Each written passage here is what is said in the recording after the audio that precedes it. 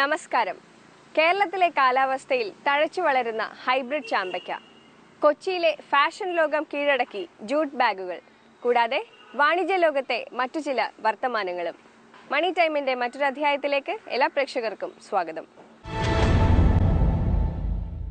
വിദേശ രാജ്യങ്ങളിൽ നിന്ന് ഇറക്കുമതി ചെയ്യുന്ന കാർഷിക വിളകൾ നമ്മുടെ കാലാവസ്ഥാ രീതികളുമായി ഇഴുകിച്ചേരുന്നതും അല്ലാത്തതുമായ സാഹചര്യങ്ങൾ നമ്മൾ കണ്ടിട്ടുണ്ട്. കേരളത്തിൽ സുലഭമായുള്ള ചാമ്പക്കയുടെ തായ്വാൻ പതിപ്പാണിത്.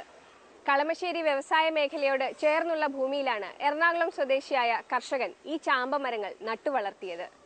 രുചിയിലും രൂപത്തിലും ഏറെ സവിശേഷതകളുള്ള ഈ തായ്വാൻ ചാമ്പയ്ക്ക ഇന്ന് വിപണിയിലും ശ്രദ്ധിക്കപ്പെട്ടു കഴിഞ്ഞു.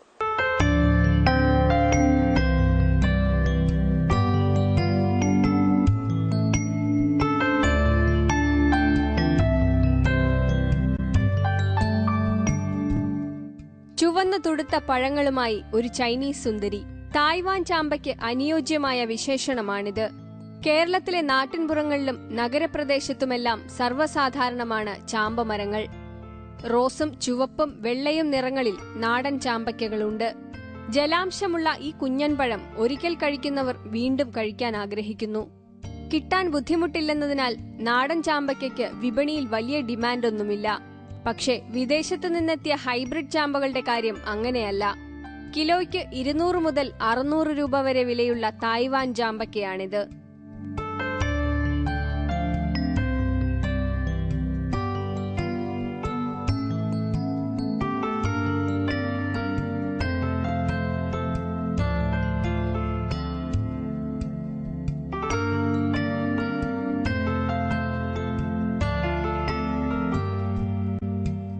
രൂപത്തിൽ കേരളത്തിലെ ചാമ്പക്കയോട് സാദൃശ്യമുള്ള ബാങ്കോക്ക് ചാമ്പയ്ക്കയിൽ നിന്നുമാണ് തായ്വാൻ ചാമ്പ വികസിപ്പിച്ചെടുത്തത്.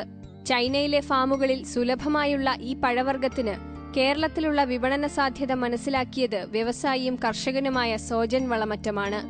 ആറു വർഷം മുൻപാണ് ആദ്യത്തെ തൈ കേരളത്തിലെത്തിച്ചത്. ഞാൻ ഓൾമോസ്റ്റ് എല്ലാ ഏഷ്യൻ കൺട്രീസിലും ട്രാവൽ ചെയ്യാറുണ്ട്. അപ്പം പല പ്രാവശ്യവും ഇത് അവിടുന്ന് വാങ്ങി കഴിച്ചിട്ടുണ്ട്. അപ്പം ഇത് ചാമ്പയുടെ സ്പീഷീസ് ആണെന്ന് മനസ്സിലായി. അപ്പോൾ അത് നമ്മുടെ ക്ലൈമറ്റിൽ എന്തായാലും ഉണ്ടാവും എന്നുള്ളതും എനിക്ക് ധൈര്യമായിരുന്നു. അപ്പോൾ അതുകൊണ്ട് അതിനു വേണ്ടി സ്ട്രെയിൻ ചെയ്ത് അത് കണ്ടുപിടിച്ച് തൈ കൊണ്ടുവരിക ചെയ്ത് ഫസ്റ്റ് ഒരു അഞ്ച് തൈകൾ മാത്രമേ എനിക്ക് ഇമ്പോർട്ട് ചെയ്യാൻ പറ്റുള്ളൂ. അത് ഞാൻ ചൈനയിൽ നിന്ന് നേരിട്ട് പോയി കൊണ്ടുവരിക ചെയ്ത് അപ്പോൾ അത് പല ഫാമുകളും സന്ദർശിച്ചിട്ട് അവിടുന്ന് കിട്ടാൻ ബുദ്ധിമുട്ടുണ്ടായിരുന്നു.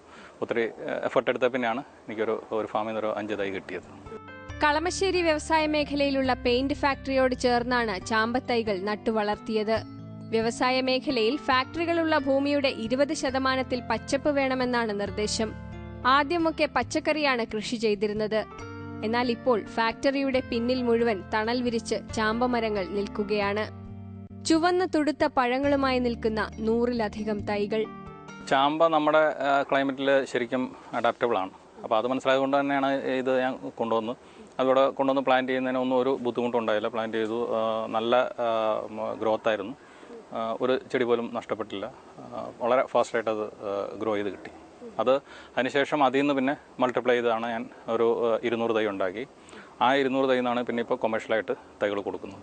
വേനൽക്കാലമാണ് തായ്വാൻ ചാമ്പയുടെ പൂക്കാലം. ഡിസംബർ മുതൽ മെയ് വരെ കായ്ഫലവും ഉണ്ടാകും. പൂക്കൾ വിരിഞ്ഞുണ്ടാകുന്ന കായ്കൾ ചെറിയ മണികൾ പോലെ ശാഖകളിലൊക്കെ തൂങ്ങിക്കിടക്കുന്നു. ഒറ്റയായും കുലകളായും ഒക്കെ കായുണ്ടാകും. ഇതിനൊരു അഡ്വാന്റേജ് കണ്ടത് ഞങ്ങൾ കൊടുക്കുന്ന ഇപ്പോൾ ലെയർ ചെയ്ത് ഒരു വർഷമായ തൈകളാണ് അത് ഇപ്പോൾ കൊണ്ടുപോയ മിക്കവാറും ആളുകൾക്കെല്ലാം നെക്സ്റ്റ് ഇയർ അത് ക്രോപ്പ് ആയിട്ടുണ്ട്. അപ്പോൾ ഇത്ര ഒരു ചെറിയ ജസ്റ്റേഷൻ പീരീഡിൽ നമുക്ക് ക്രോപ്പ് കിട്ടുന്ന ഒരു ഫ്രൂട്ട് ട്രീ എന്ന് പറയുന്നത് അപൂർവമാണ് അപ്പോൾ അതുകൊണ്ട് തന്നെ നമുക്ക് വെയിറ്റിംഗ് പീരീഡ് ഇല്ലാത്തതുകൊണ്ട് അതിനകത്തേക്കൊരു സീസണൽ ക്രോപ്പ് മാതിരി തന്നെ നമുക്ക് എടുക്കാൻ പറ്റും. വാഴയൊക്കെ ചെയ്ത് കഴിഞ്ഞാലും വാഴയ്ക്ക് വരെ ഒന്നര വർഷം നമ്മൾ കത്തിരിക്കേണ്ടി വരും. ഇതിപ്പം ഒന്നര വർഷം കൊണ്ട് ഇത് ഈൽഡായി തുടങ്ങും. പിന്നെ ഇതൊരു സ്റ്റാൻഡിങ് ക്രോപ്പാണ് ഒരു കുറേ വർഷങ്ങളേക്ക് ഇത് നിന്ന് കായ്ക്കുകയും ചെയ്യും. അപ്പോൾ നമുക്ക് ഈ ഒരു സെക്കൻഡ് ഇയർ മുതൽ നമുക്ക് ഇതിന്ന് ഫുൾ ഈൽഡ് കിട്ടി തുടങ്ങും. വിത്തുകളില്ലാത്ത ഉൾക്കാമ്പാണ് ഈ ഇനം ചാമ്പകളുടെ ഏറ്റവും വലിയ സവിശേഷത. മറ്റു ചാമ്പകളേക്കാൾ മധുരവും കൂടുതലാണ്. നമ്മുടെ നാട്ടിലെ കാലാവസ്ഥയിൽ സമൃദ്ധമായി തന്നെ കായുണ്ടാകും. രോഗം വരാനുള്ള സാധ്യതയും കുറവാണ്.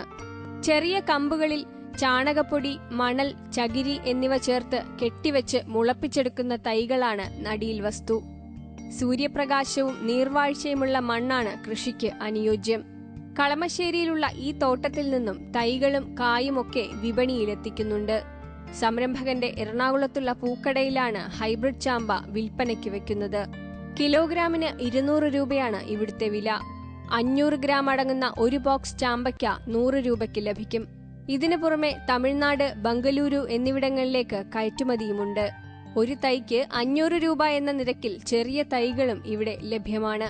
നമുക്കിപ്പം ഏകദേശം ഒരു അമ്പത് കിലോ വെച്ച് ഡെയിലി ഇവിടെ ഒന്ന് കൊണ്ടുപോകുന്നുണ്ട് സീസൺ ടൈമിൽ ക്രോപ്പായി കഴിഞ്ഞ് കഴിഞ്ഞാൽ അത് ഓരോ സ്ഥലത്തേക്ക് അവർ തന്നെ അവർ പറയുന്ന സ്ഥലത്തേക്ക് നമ്മൾ ഇവിടുന്ന് കയറ്റി വിട്ടാൽ മാത്രം മതി. അപ്പോൾ അവർ അവർ തന്നെ അവിടുന്ന് അത് അറേഞ്ച്മെന്റ് ചെയ്തിട്ടുണ്ട് അവിടെ എടുക്കാനും. ഇവിടെ ഇവിടുന്നുള്ള ലക്ഷറി ബസ്സുകളിലാണ് അയച്ചു കൊടുക്കുന്നത്. അപ്പോൾ അവർ ബസ്സുകളിൽ ഇവിടെ അവർ പറഞ്ഞിട്ടുണ്ടാവും. നമ്മൾ ആ ബസ്സിൽ കൊടുത്താൽ മാത്രം മതി. കേരളത്തിലെ സംബന്ധിച്ചിടത്തോളം ഇത് ഭൂമിയുടെ ലഭ്യത ഒരു പ്രശ്നം തന്നെയാണ്. അപ്പോൾ നമുക്ക് കൊമേഴ്ഷ്യലായിട്ട് കൂടുതൽ ഏരിയ കൾട്ടിവേറ്റ് ചെയ്യണമെന്നുണ്ടെങ്കിൽ ഇപ്പം പുതുതായിട്ട് റബ്ബർ റീപ്ലാന്റ് ചെയ്യുന്നവരോ അങ്ങനെ ഏതെങ്കിലും ക്രോപ്പിലേക്ക് സ്വിച്ച് ഓവർ ചെയ്യുന്നവരൊക്കെ റബ്ബറിന് വില കുറവുള്ളതുകൊണ്ട് സ്വിച്ച് ഓവർ ചെയ്യുന്ന അങ്ങനെയുള്ള ആളുകളാണ് ഇപ്പം കൂടുതൽ ഏരിയ കൃഷി ചെയ്യാനായിട്ട് താല്പര്യമായിട്ട് വരുന്നവർ. അപ്പം കൂടുതൽ അവൈലബിലിറ്റി ഉണ്ടെങ്കിൽ മാത്രമേ നമുക്ക് കൂടുതൽ സ്ഥലങ്ങളിലേക്ക് ഇത് അയക്കാൻ പറ്റുള്ളൂ. കുറച്ച് മാത്രമേ ഉള്ളെങ്കിൽ നമ്മൾ അന്വേഷിച്ച് ബയസ് വരില്ല.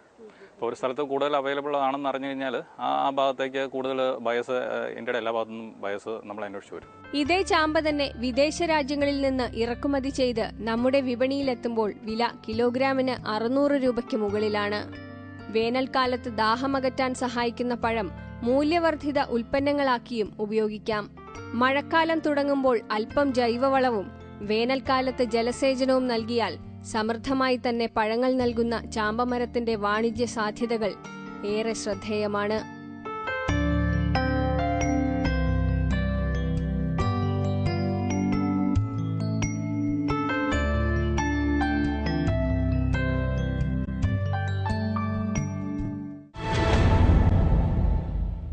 മണി ടൈമിലേക്ക് തിരിച്ചു വരാം. ഒരു ചെറിയ ഇടവേളയ്ക്ക് ശേഷം.